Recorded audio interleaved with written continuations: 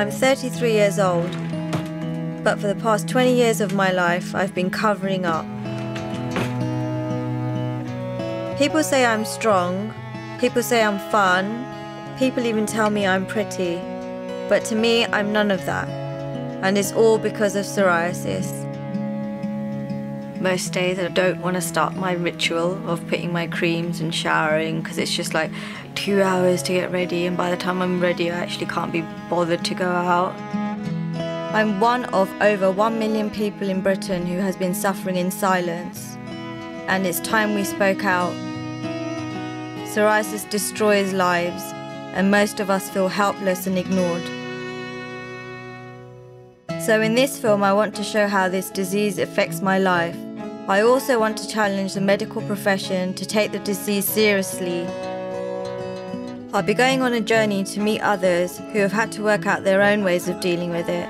Having survived breast cancer, this was far worse if you'd have compared the two. You can't let psoriasis have you, or it's over. And I'm hoping I can learn how to help myself along the way.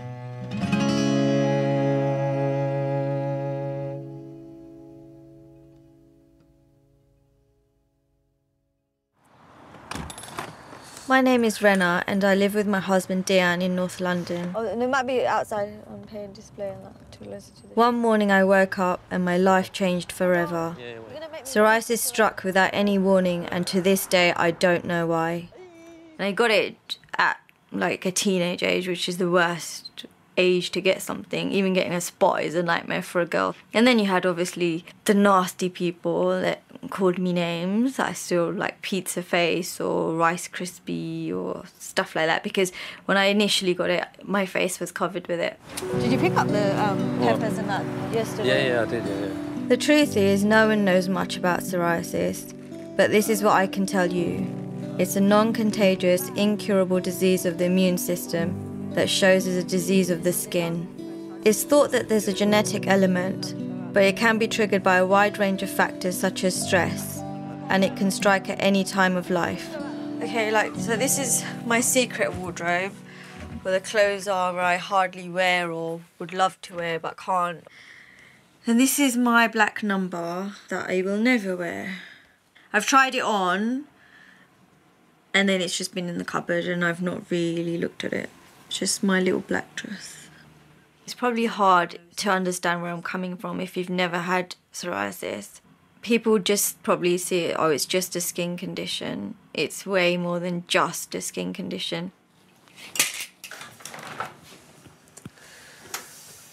I try to explain to my husband how I'm feeling, and I have opened up to him, but there's still a lot I won't tell him because I don't want him to worry about what I may do. I always end up at the thought of not wanting to live. I know. I hate doing it. The only treatment that helps is the cream that I have to plaster on every day, but that's greasy and sticky and it doesn't stop the pain. Do you want to defrost them? Yeah, please. Yeah. It would make life simpler if the treatments were faster and easier to apply.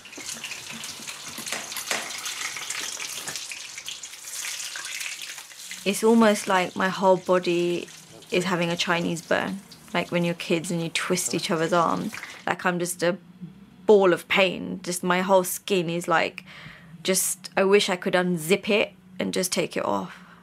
You look like kind of uh, I can feel the burning, and sometimes when I get to that stage, I can just smell my skin burn because of all the creams I may have used in the day. When I'm sleeping, I just think, oh my god, I can actually smell the burning. I feel like a volcano because I'm erupting, and the heat of my skin sometimes is like a volcano once I've erupted. And at the age of 33, sometimes I feel like I'm going on 60 by the end of the day because I'm so drained physically and mentally that I just think, oh, just someone just rip the skin off me. Hola, Sanus. The white one. Why should I hide what I'm feeling? Why should I not tell the world what I go through? Excuse me, do you have a few minutes? We're just making a short film on beauty. Okay. People say beauty is more than skin deep, but that's just the biggest lie ever. Especially like society now, everyone's trying to look perfect, and the most perfect person gets criticized. I think skin is really important to mm-hmm. have, yeah. Skin is, is, is basically um, the start of how you make your face up. At the end of the day, if you don't have nice skin, doesn't matter how much makeup you put on, it doesn't look good. What do you think of that? Well, Would you know what it is? is it like birthmarks or is it burns? Oh God. Is it contagious? The first thing you look at, you think, oh my God, it's contagious. You would kind of avoid them. You would kind of be. Maybe it's a little bit mm, disgusting. I think you have a nice glowing skin. Yeah. Yes. What oh do you my think God. of Surprised. You didn't think I had something nice, would you? No, it's not on your face, so you, you know you can cover it up. It's it's not. It's it's how you look at it and how you feel about it. I would imagine an illness like that, or a condition like that, is more psychological than anything else. God forbid. It'd kill me. um, I think it's very upsetting. People's reactions do affect me and affect the way I feel about it. Because they can say they're not looking, you know. I can tell when people are looking. If my arms are out in summer and it's half my skin's falling off, your your your first gut instinct is not going to be like, oh, she looks really good in that top. It's going to be like, oh my god, what's that on her arm? The people I really don't tell a lot to about how I'm feeling are my parents and my brothers, because I really don't want them to know what it's what kind of hell I'm living. Because I don't want them to feel that they've always got a that they have a sister that does is not happy. It's all a lie. Yeah, it still feels like, you know, we just started seeing each other yesterday or something. I don't know why, but it just feels that way still sometimes. Because I still look gorgeous. Uh, well, sometimes, you know, there is a situation where, you know, we go to sleep and, you know, she comes out with certain things like, you know, she's upset and all she keeps on saying is like, you know, she just wants to call it a day now.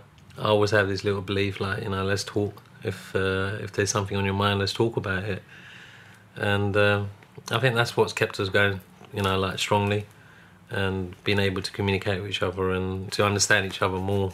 Even to this day, to be honest, like, you know, I've never taken that, like, you know, like Rena's got psoriasis on her skin or anything. I've just, I still take her to this day as well. Like, she's still beautiful, mm-hmm. charming, you know, so.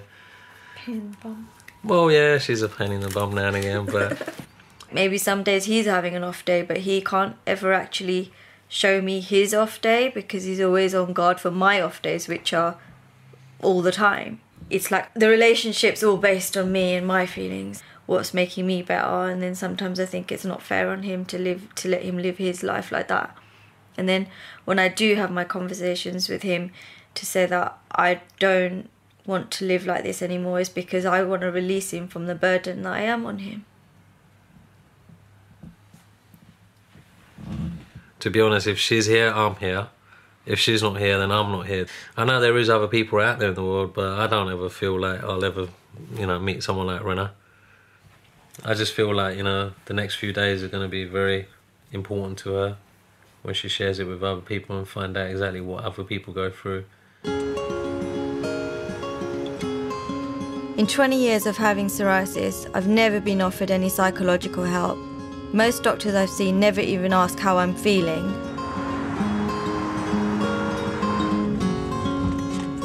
But it doesn't have to be like that. I went to Whipps Cross Hospital in East London to meet a psychodermatologist, Dr. Anthony Bewley. Good, Rena, so come with me. I'm Hi, Tony, um, nice to meet you. Come on. The most important thing is that the dermatologist listens to the patient for how they feel about themselves and how they feel about their skin, but also to have an idea of what's going on for them socially and uh, with their relationships and so on. Because we do know that psoriasis is not just skin deep. It does affect how you feel about yourself, and it also affects how you uh, interact with other people, so it affects your relationships. A primary care doctor, a GP, will usually enter into a dialogue with the patient and then work out what treatments um, are best for that patient. If the patient has very severe disease, Mhm. then the patient should be referred immediately to a dermatology unit. If the GP thinks that they are able to look after the patient in primary care, and that's the vast majority of patients who have psoriasis, then I'd be very much uh, wanting and hoping that the GP would spend time with the patient. Mm-hmm. And what sort of support do you think you've had from healthcare professionals? None. Has your experience been unhelpful? Yep.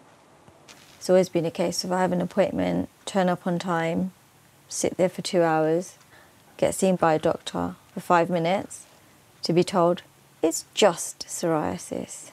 It's just psoriasis. It's only those two words, just and only. When I hear those two words, the rage inside me is like I have to literally sit there and count to three because I know I'm going to flip or blow. So tell me about what you would want from treatments and from a, a healthcare professional. A bit of sympathy, Yes. support, and a bit of time. Just a question such as How have you been since the last time I've seen you? Someone to recognise that I am in this mind frame mm-hmm. and to offer me support or to show me that I can come out of it mm-hmm. or there is support there or there is somebody I can go and see. The experience of having psoriasis, how does that make you feel? Anger Are you tearful? all the time. Every I cry day? myself to sleep every day, Have you ever thought of committing suicide? Every other day. That's very distressing. I'm, I'm at I'm at my weakest point I've ever been in my life right now. Now I've started thinking of my family and my husband. It's like I don't want them to think it's their fault or it's somebody's fault. It's because I can't deal with it. It's because I've weakened. It's nothing to do with anyone else. Patients who have psoriasis have a much greater thought profile of committing suicide. So Mhm. many patients who have psoriasis think, I have had enough. Yeah. And, and that's completely understandable. Just listening is often uh, the first step, and hearing what's going on for the patient, and understanding that psoriasis is not just skin deep, that there are huge implications uh, to an individual when they have Mm. psoriasis. The first time I'm coming out of an appointment without feeling volcanic. Seeing the right people with the right experience and the knowledge that maybe I can get the support that I need. I felt when, when talking to him, I could just open up and just say what it was that's been eating me all these years. And the hope that I can sit down and just get that burden off my shoulders. I don't think I'd fully get rid of all the scars that are left, but just help me deal with it in a better way so it doesn't take over. It was good to be listened to by a professional, but I wanted to meet other people with psoriasis, people who could understand what I was going through. It's something I'd never really done, but there's a huge online community that help each other. I decided to join a psoriasis forum to get in touch with others, like Kate Buckley from Yorkshire.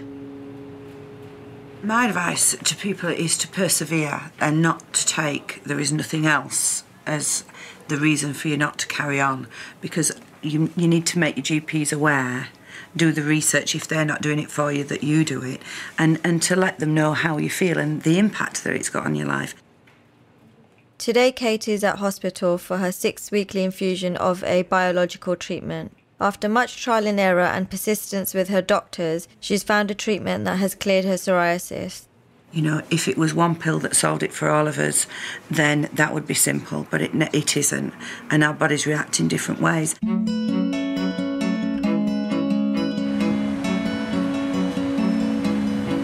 I'm quite excited to hear like what her experience has been like and just talk to somebody who goes through what I go through every day. Kate is also a breast cancer survivor, and I was interested in hearing how she would compare both experiences. Hi, nice to meet you. I'm Renna. Hi, Renna. How are you? Nice to meet you. Nice to meet you. Come on in. It's a cold Thank day. you. I know. For me, having survived breast cancer to then get this was just horrendous, and this was far worse if you'd have compared the two. Yeah, you would say. I, I would say living with the psoriasis was far worse. My biggest fear isn't that the breast cancer comes back, Mm. it's that the drugs for my psoriasis don't work. And that's how bad or how much of an effect it's had on my life. Yeah. It is such a horrific disease. Unless you have it, got it, I, I don't think anybody could understand. No. With breast cancer, I survived, and therefore that's a success. Yeah. When I was going through all the psoriasis treatment, I kept failing Yeah. and I couldn't understand how I could crack something like cancer and could not this thing called psoriasis. Yeah. And I hated it. I mean, with a passion, with an absolute passion. I didn't really want to look at it. I didn't really want to talk about it. Mm. I didn't really want anybody else to ask me about it. You know, in a way, I hid it completely. Studies have shown that the physical impact on psoriasis sufferers is as great as with any other illness. The mental impact is greater only with depression and chronic lung disease. When I had my breast cancer, I couldn't see my breast cancer. Yeah. and you had to deal with it. But I wasn't waking up to it and looking in the mirror every single day. If you don't love yourself, how do you expect other people to love you? And if you look in that mirror and you don't like what you see, Mm. then you know it's very difficult to get close to people. Yeah. I genuinely believe that doctors don't understand just what you are going through. Whereas with the breast cancer, you really do feel nurtured Mm. along and this massive willingness by your team to succeed. Mm. All of that is nothing compared to the challenge of dealing with this skin Yeah. problem. It does give me hope. It's just finding the right treatments. And if I'm on the right treatment, then yeah, I do have hope. I want to be in a happier place. I think if you give in, there are dark demons that you fight yourself every day about Mm. with this. And I think that's the biggest thing. Cheers. Cheers.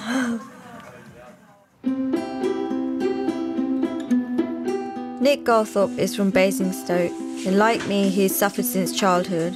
started noticing that I had uh, a problem. It was back when I was about eight. I was a I was pretty much a normal kid, climbing trees, falling out of trees, breaking my arms, and then all of a sudden psoriasis hit me. yeah. Um, yeah. Okay, I'll try. Sorry, the problem is I've, I've kind of sort of buried it for so long to try and bring it up is um, is not easy through school, one of the most difficult times in my life. Children can be very, very cruel, and uh, when you've got a visible skin condition, you know you're a target. I didn't understand what was going on to my body at the time. I was covered in horrible sores, and yeah, I didn't like my body myself. And you know, in my early teenage years, I could understand why people were being like that. I kind of hid myself away. I didn't associate with people of my own age. Sadly, I got involved in drugs, which to me just seemed an escape mechanism uh, to help me deal with the psoriasis. Thankfully, now I do deal with the public, and I've come to, I won't say I've come to cope with it totally, but I've come to learn how to deal with it. I think that's why the job's very good for me. I can, for a while, put everything that I've got worries about behind and deal with somebody else's problems. Um, once you get used to dealing with other people's problems, you'd be surprised how easy it is to deal with your own. If in the early stages of my psoriasis as a youngster I had received a little bit more treatment about how it's making me feel, then I definitely think things would have been different for me. There's no denying that psoriasis plays a huge part in my life. But at the end of the day, psoriasis is psoriasis and you are you. You can't let psoriasis have you or it's over.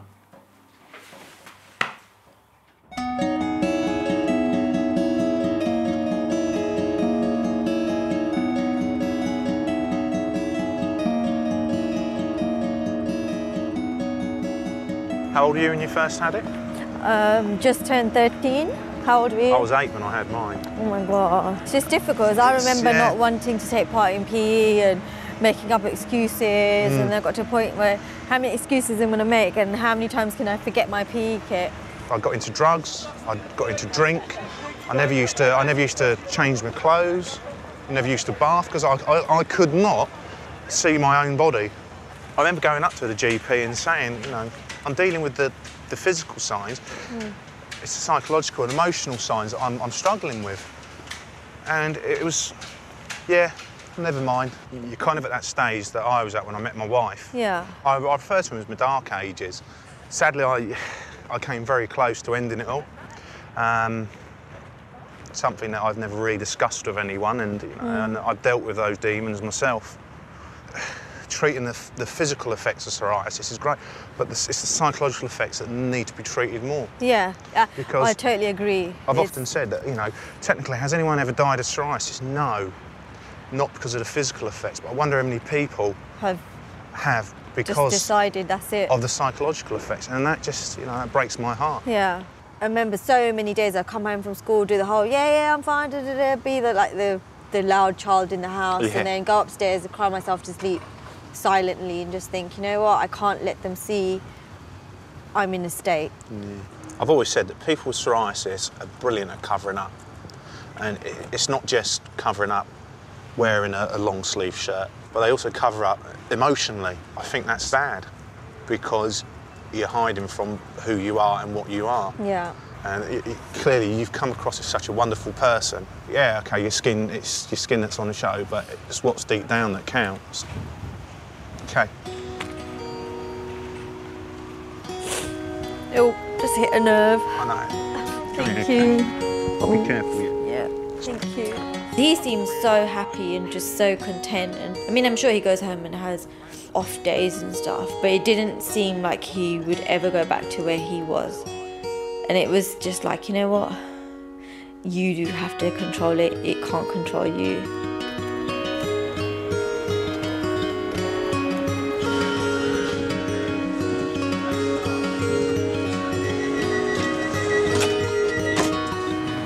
Going to Tunbridge in Kent to meet a GP, Dr. Stevens. Um, he's agreed to talk to me about how he deals with psoriasis with his patients.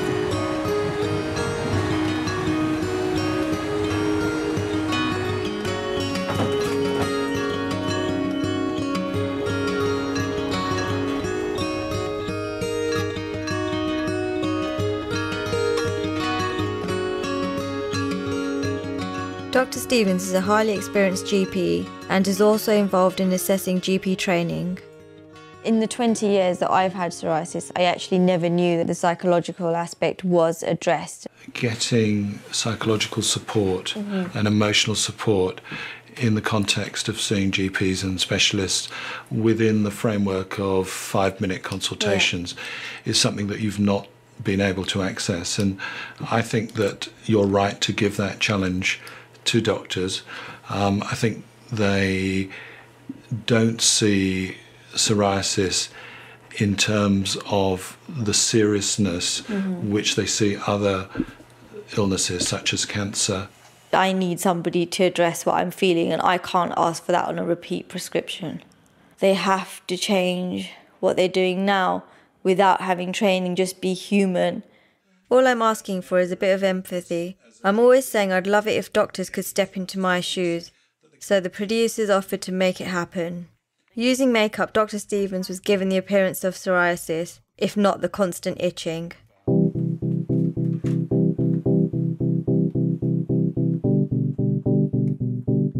Uh,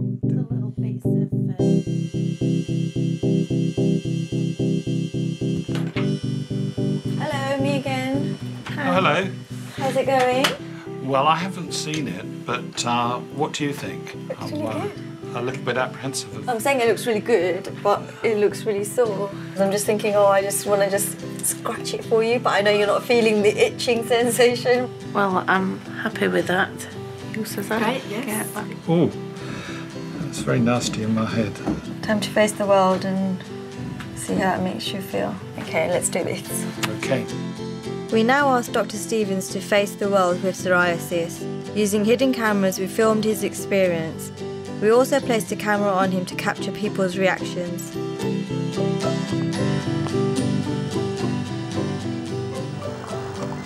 Oh, you've been in the ward? Oh, psoriasis. Is it? Oh, right. Looks painful. Very uncomfortable. They've been helpful, but then they have given that look, but very discreetly. And I think over the years, I know what that look is. So for me, every time someone's given you a look, I flinched. It's like they're staring at your wherever they can see your skin's flared up, but they're trying to focus on your face. And I know that it's not eye contact, you're looking at my ear because you're, I've got this second sense now. Do you do crampons? We do, yes. Where are they? They're, uh, they're all actually out the back. I don't think we have any on display at the moment. All right. Okay. Oh, don't worry. Some people stared, some people tried too hard not to stare.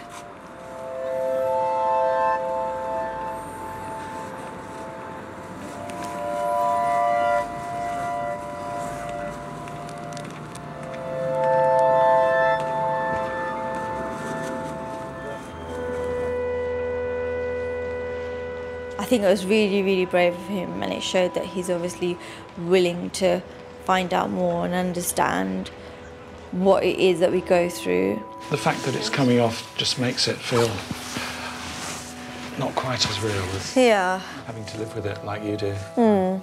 I sort of picked up glances, and particularly um, in the last part, I was becoming more sensitive to people glancing at me and Mm. then glancing away. One wonders what they're really thinking, and should I worry about that? I suppose we all worry about what other people think. What would you expect of people when they see you? It's like I've already pre-prepared a reply in my mind. Is to if they was to say this, I'll say this back. If they do that, I'll do this back. Or yeah, it's like my defense is already up. Wish I could just have it vanish away just like that. It's like watch it go on and then watch it just go off. I'm like, oh. It's easy to understand why people with psoriasis cover up to avoid negative reactions from others. But could covering up simply make it worse? Andy Smith thinks so. He's a photographer and has psoriasis himself.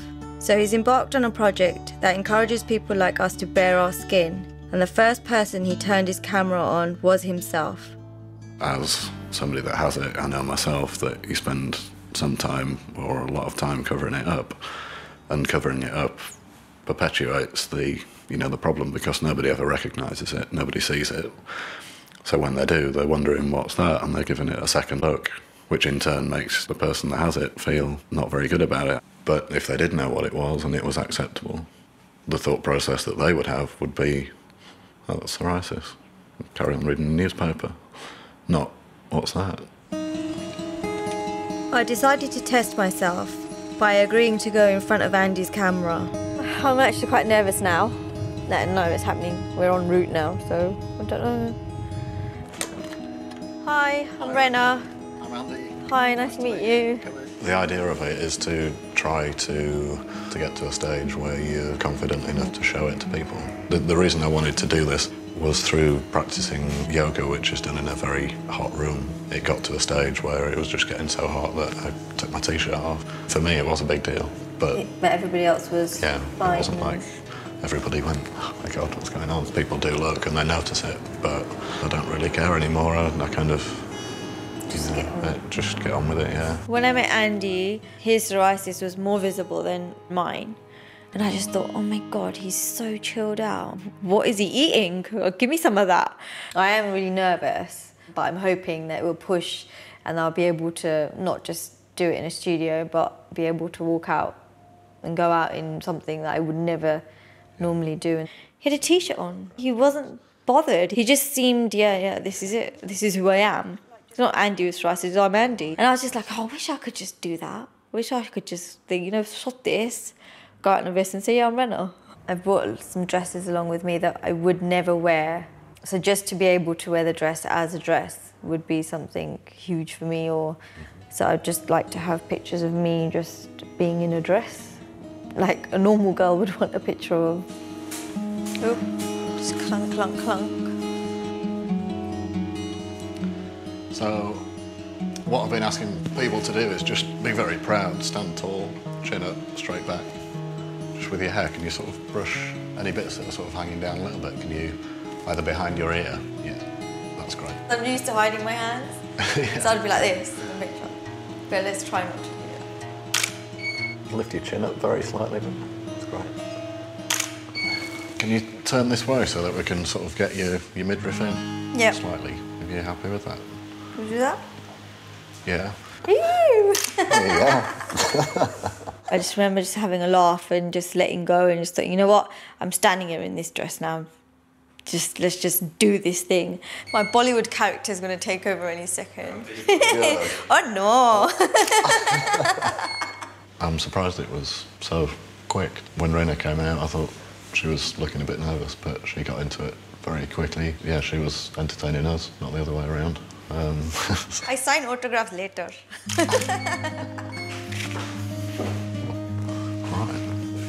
My black dress that's only for my closet. I've had it for about a year now. I only took the tag out of it this morning.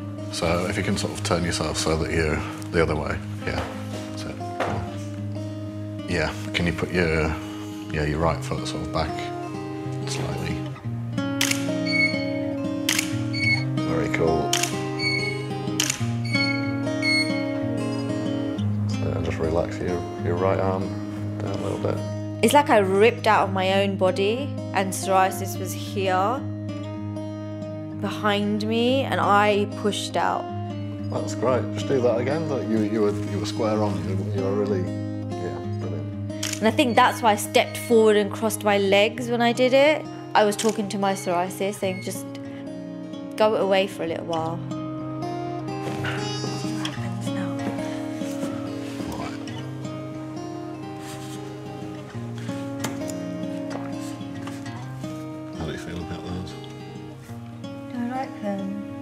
Think my eye just looks straight at my scars. And I'm You're- trying you're not yeah. I'm just trying to remember like like the fun that I was having when I was having them done. Because while I was having them taken, I actually felt I don't have it. Maybe that's a good mantra to take with you. I mean, you obviously totally forgot about it. Yeah. You know? And look at that. That's that's got attitude. you're confident. and You don't look like you're hiding anything. It's just the look on my face on that one. I'm just thinking, That's why got- can't I look at people like that when they look at me? That is the one picture I can see that I'm just saying, you know what? You best just look straight in my face because this is this is my story.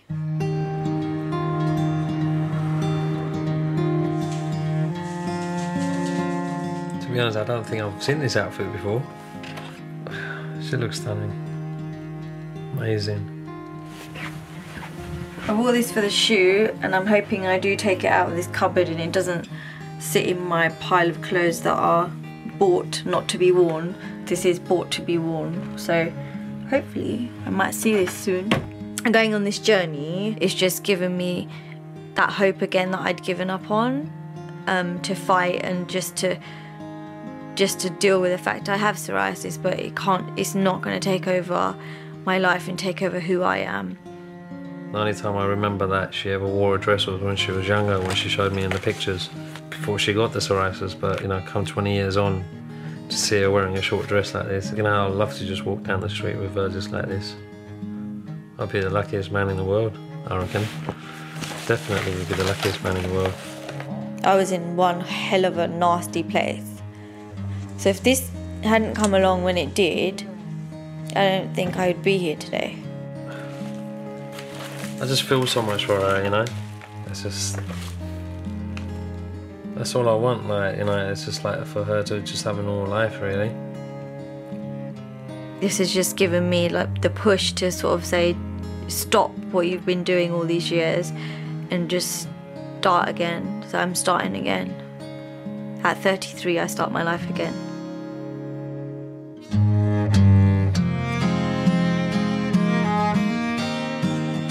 Excuse me, sir. Do you have a few minutes to talk about beauty? You are beautiful. There's beauty surrounds you. There's nothing else. You've got the aura of beauty. If the world was as beautiful as you, the world would be a better place. Thank you.